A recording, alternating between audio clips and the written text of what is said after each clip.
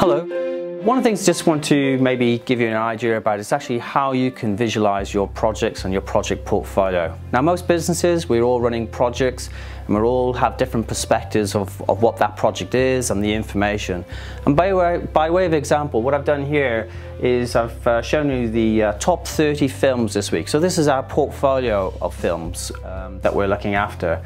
And, and also interestingly, what we've got is we've um, got a a, uh, an active interface that goes out to the website that pulls the real-time data back into SharpCloud.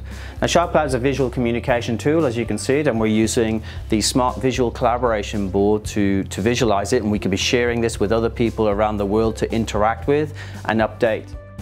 Now interestingly, this, uh, if we have this interface into a system, this could be a project management system such as Primavera or Microsoft Project for example, or saffron and we could be linking into these and bringing back information.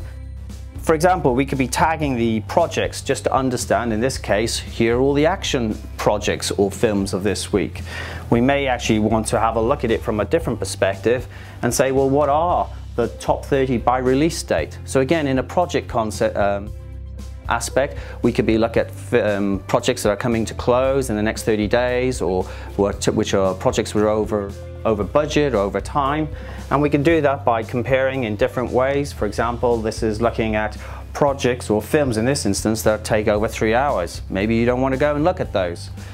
Another way that we can look at it is from how much of uh, total of uh, revenue is coming in. Again, this is very relevant to your projects.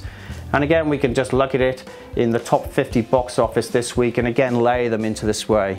So if you can imagine this was your project and your portfolio and you could interact in this way and visualize and communicate in a, in a very interactive way, how much would that improve your projects?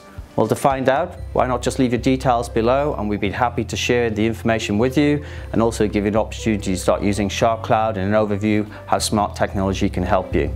Thank you.